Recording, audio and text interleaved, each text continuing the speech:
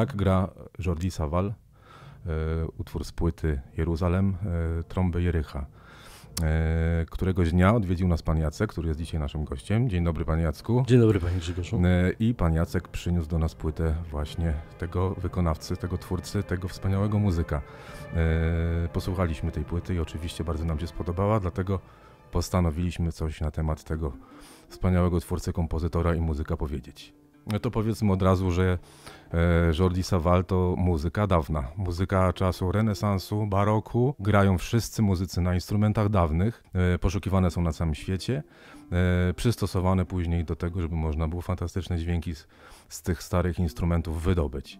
Na tym właśnie przede wszystkim chyba polega fenomen tego, tego muzyka i jego zespołu, ale również to, że jest on szefem tego zespołu, jest kierownikiem artystycznym, muzycznym, pewnym wizjonerem, można powiedzieć nawet filozofem. Tu się ze wszystkim zgodzę, że jest wykonawcą, jest także dyrygentem i jak samo sobie mówi, że jest muzykiem praktykującym, grającym na instrumentach smyczkowych. Jeżeli sam nagrywa solowe jakieś utwory, to całkowicie jest odpowiedzialny. A jeżeli nagrywa to z zespołami, bo należy wymienić, że ma trzy zespoły, można powiedzieć cztery. I korzysta tu z wiedzy, z umiejętności muzyków dobranych. Wcześniej Jordi Saval grał w różnych zespołach, nie jako, nie jako szef, nie jako kierownik artystyczny, tylko udzielał się jako muzyk grający na violi da gamba. To głównie płyty wydane też na winylach, bo dzisiaj Jordi Saval wydaje e, głównie płyty CD, także winylowe płyty to są te starsze jego produkcje, w których właśnie występuje jako muzyk grający na violi da gamba, tak? Przyniósł pan kilka takich płyt. Yy, tak, przyniosłem jedną płytę winylową, jeszcze z czasów, o którym Jordi Saval nie był znany tak jak teraz. A który to był rok? Yy, 76 albo 8 rok. Jordi Saval jest e, Hiszpanem Z Katalonii. z. Katalonii, czyli Barcelona. E, Jego twórczość rozpoczęła się akurat tam właśnie w Hiszpanii, w Barcelonie. Pierwszą płytę nagrał w 75 roku, ale zanim nagrał, 20 lat poświęcił na studia na instrument. Zaczął grać w ogóle na wiolonczeli. Tam poznał też swoją żonę. Później w Paryżu odkrył literaturę muzyczną Marina Maraisa, czyli barokowego, świetnego gambistę. A ma pan taką wiedzę, u kogo uczył się gry na violi da gamba, Jordi Saval? W 1968 roku wyjeżdża do Bazylei, do Wanzingera. To był też wiolonczelista, gambista. Gambę już odkrywał przed wojną. Jego pierwsze nagrania są z lat 30. Oczywiście to były takie niszowe jakieś nagrania. Wyczuwał sam, jak on to mówi, że to jest to. Także Czyli latami dochodził do tego, 20 lat. do Jak tego sam mówi co 20 osiągnął lat. dzisiaj. E, Dzisiaj Jordi Saval nagrywa we własnej wytwórni płytowej. Nazywa się ona Alia Vox. Jest to wytwórnia płytowa hiszpańska e, z siedzibą w Barcelonie. Są to płyty e, bardzo pięknie wydane. Są to wydawnictwa albumowe. Niektóre płyty wydane są wraz z książką, z opisami, ze zdjęciami, z całą taką historią e, tego nagrania, które, jest, które znajduje się na, na płycie CD. Oczywiście znawcy tematu mówią, że to jest biblioteka Sawala. Jak sam Sawal mówi, że przez muzykę, muzyka to jest na tych płytach, to jest nić do, do historii. Śledząc yy, katalog płyt, można spotkać, tak jak tu pan, panie Grzegorzu powiedział o Jerozolimie, ale pierwsza płyta yy, Alia Vox, wydana w 1998 roku, mówi na przykład o Don Quixocie. Jest płyta poświęcona Krzysztofowi Kolumbowi. Czyli Jest- są takie płyty tematyczne, Tema, w większości to są tematyczne. Poświęcił na przykład płytę, y, tak jak żeśmy wspomnieli o tym Gambiście, Marajsie.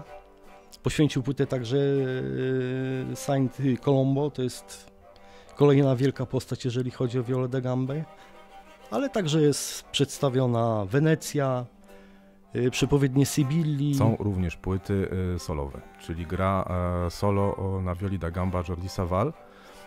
E, Na przykład są to utwory Jana Sebastiana Bacha. Widziałem, że są to utwory nagrywane w odpowiednim miejscu, czyli katedry, kościoły, nieraz małe kościółki, ekipa nagrywająca z mikrofonami dookoła, w środku Jordi Saval z wiolą da gamba i gra muzykę Bacha ale są również y, utwory, które wykonuje dosyć spory zespół, bo jest tam chyba około od 8 do nawet 12-13 muzyków. A na harfie gra Ariana Saval, czyli córka. Żona Jordiego Savala. E, coś może na ten temat, panie Jacku? Poznali się na studiach w Barcelonie. Razem studiowali wiolonczele. W 1968 roku pobierają się i wyjeżdżają do Bazylei, aby studiować u Watzingera, tak żeśmy wspominali, y, w Schola Cantorum Banzilensis. Może przybliżmy bardziej, e, cóż to takiego jest viola da gamba? Jest to instrument e, z nazwy viola, czyli może coś jak altówka, trochę większa niż altówka, trochę mniejsza niż wiolonczela. Natomiast w układzie muzyk trzyma ten instrument bardzo podobnie jak, jak trzyma się wiolonczele. Czyli jak zaczynał swoją edukację muzyczną jako wiolonczelista, było mu troszkę łatwiej przystosować się do gry na violi da gamba. Może y, przytoczymy słowa samego Savala. O wioli mówi tak. Z wiolą da gamba poczułem się jak u siebie. O wiele bardziej niż z wiolonczelą, z którą bezustannie trzeba było wykonywać akrobację. Współpracuję prawdopodobnie, tak mi się wydaje, na stałe z niektórymi muzykami. Nie, nie widzę tutaj jakichś wielkich zmian, przynajmniej obserwując jego filmy czy fotografie z koncertów. E, muzycy e, ci sami. E, czy to jest jakiś taki stały zespół, już sprawdzony przez niego? Czy on się dobrze czuje w tym towarzystwie, już znalazł to brzmienie? Jak pan sądzi? Pierwszym zespołem Savala był zespół Hesperion 2000. Założył go w 1974 roku. Skończył się wiek i tak zespół zmienił nazwę na 21. Tak, tak. jest. Następnym zespołem, panie Grzegorzu, proszę mnie poprawić, jakbym po hiszpańsku źle powiedział, to jest La Capella Real da Catalunya. Założył go w 1987 roku. I w 1989, rok ważny, bo wtedy powstaje Alia Vox, La Concert de Nation. I z tym zespołem był nie tak dawno we Wrocławiu, wykonywał Beethovena. Mhm. A powiedzmy coś jeszcze na temat e, utworów granych e, przez Jordiego Savala w Polsce. Jest taka bardzo ciekawa historia związana z Krakowem i festiwalem krakowskim. Początek Jeruzalem.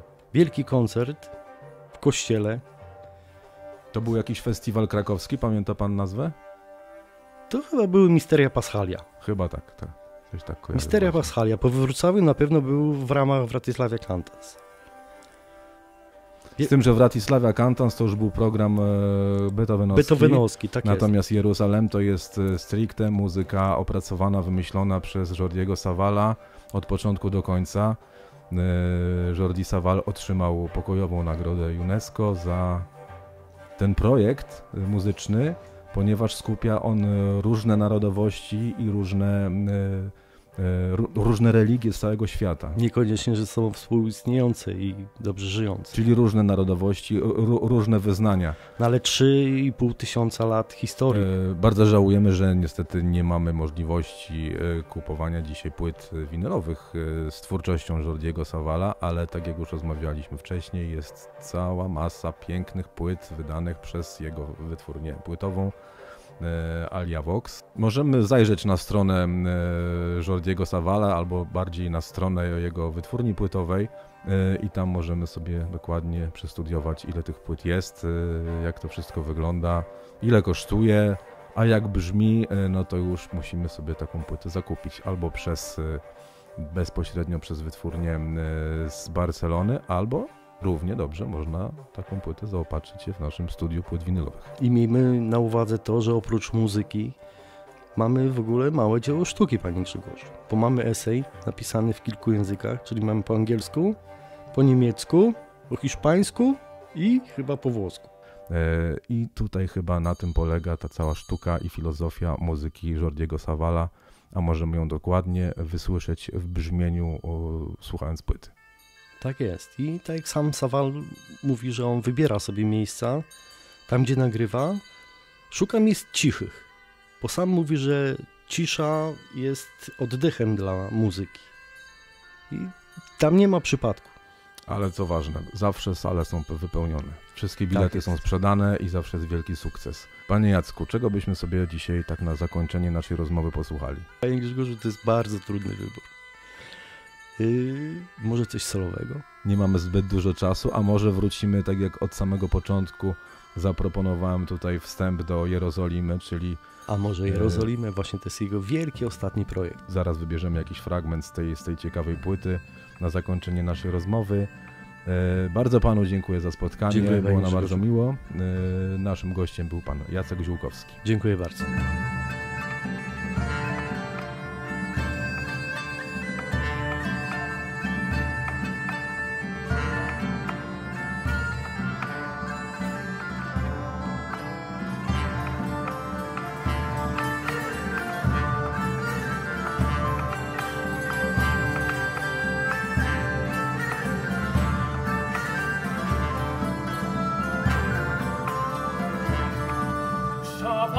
permutes tes guariz, quam Deo avus fat saclamur, destures et des maraviz, qui divum faest et des enors, creator tuns et fios salsiz, vienendebum sacerdotur, per lafu Deo prime servi, er reconorum, se nubri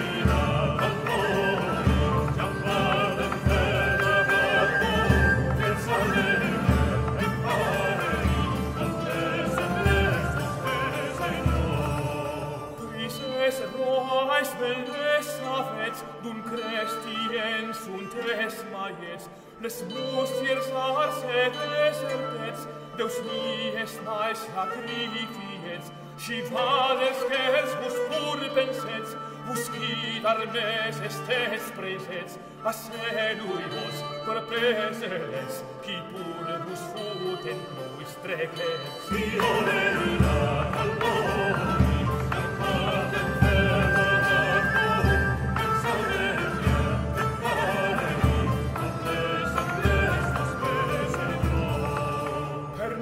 Se samplia nubevis, qui plus ad cebus nenaves, ricerdes ester puesteris, surplus altreses nurunes, de querpitatem raiemis, gestels e vides esites, directunes manice, qui voi nos odem, vos veneris,